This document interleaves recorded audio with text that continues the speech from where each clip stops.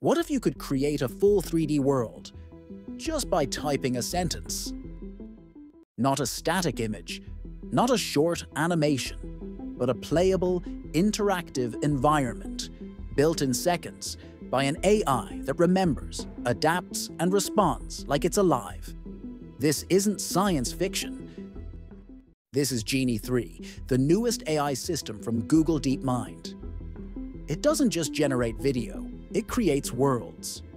Worlds you can walk through, worlds where objects stay put even when you turn around, worlds that learn, evolve, and respond to your commands. And for the first time, AI might be building the next generation of games, simulations, and even synthetic reality without a single line of code. Stick around, because in this video, we'll break down what Genie 3 actually is, how it works under the hood, why it could change the future of gaming, robotics, and AGI itself, and how you, yes you, might one day use it to build worlds from your imagination. Let's dive in. In simple terms, it's a world model AI developed by Google DeepMind. It takes a text prompt, like a grassy field with two hills and a small river, and generates a fully interactive 3D environment, not a pre-rendered video, but a playable space that runs at 720p and 24 frames per second. And the kicker? You can walk through that space, look around, Interact. The environment remembers what you've seen. If you move an object or walk behind a tree, it doesn't reset. It stays, just like the real world. This is far beyond GPT-style text generation or diffusion image models. We're talking about coherent virtual physics, object permanence, and spatial memory. Genie 3 is more than just content creation, it's synthetic reality construction. Genie 3 builds on earlier models like Genie 1 and Genie 2, but this is a massive leap. It uses something called a latent world model, a technique where the AI doesn't render every pixel in real time. Instead, it constructs a simplified representation of the world, like a mental model, and then renders it into video as needed. Kind of like how your brain doesn't redraw the whole room every second, but keeps a rough internal map that updates when new info arrives. Here are key features.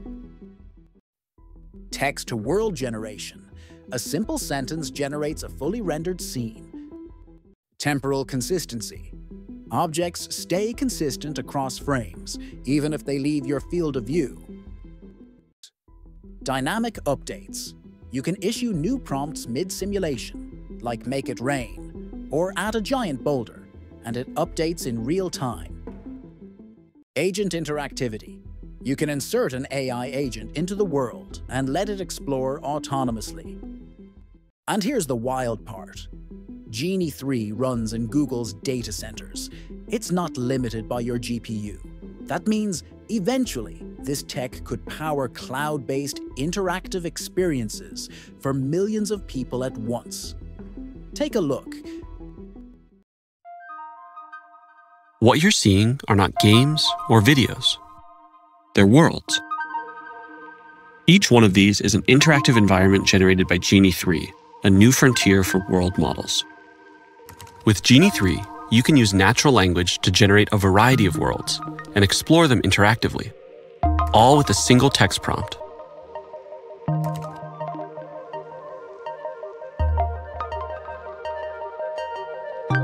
Let's see what it's like to spend some time in a world.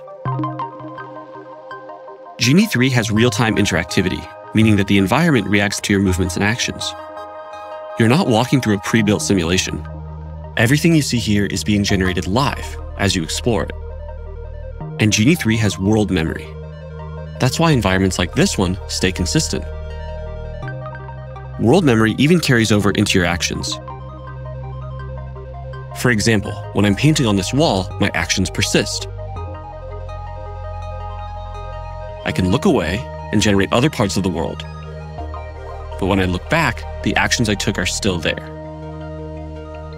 And Genie 3 enables promptable events, so you can add new events into your world on the fly.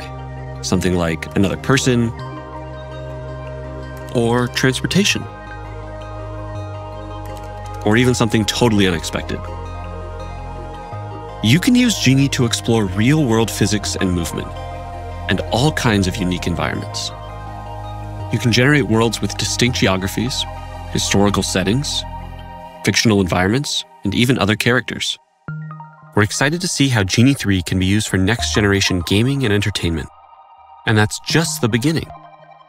Worlds can help with embodied research, training robotic agents before working in the real world, or simulating dangerous scenarios for disaster preparedness and emergency training.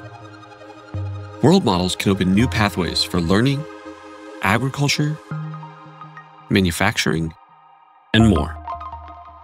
We're excited to see how Genie 3's world simulation can benefit research around the world.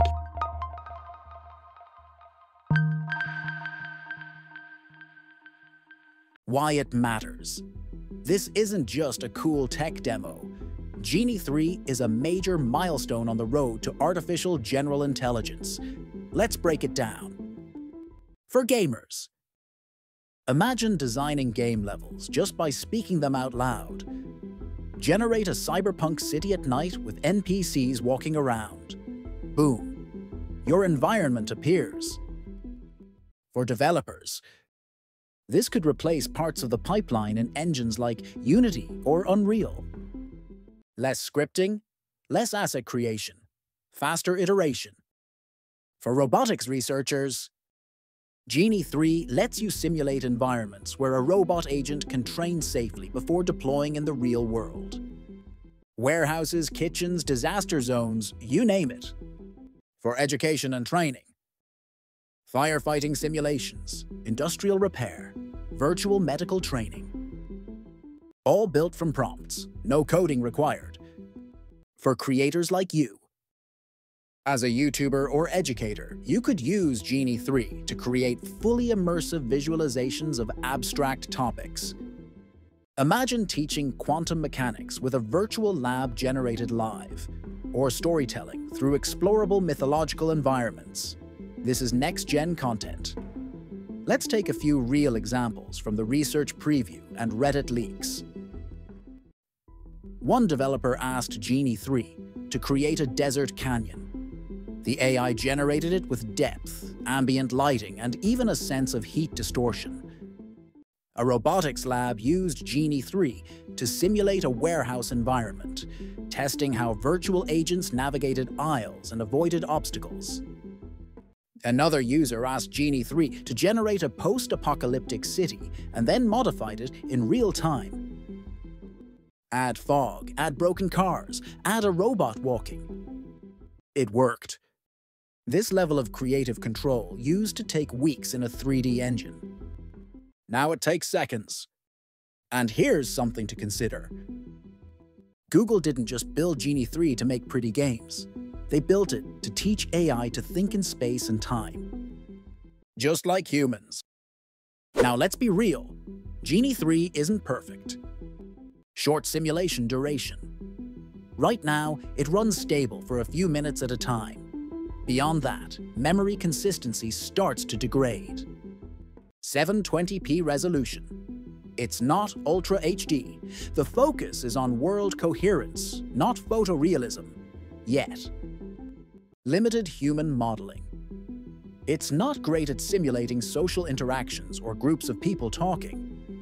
That's still a hard problem for world models. Compute hungry? Genie 3 runs in a data center. You can't install it on your PC yet. But remember, Genie 1 came out just a year ago. Genie 3 is already leagues ahead.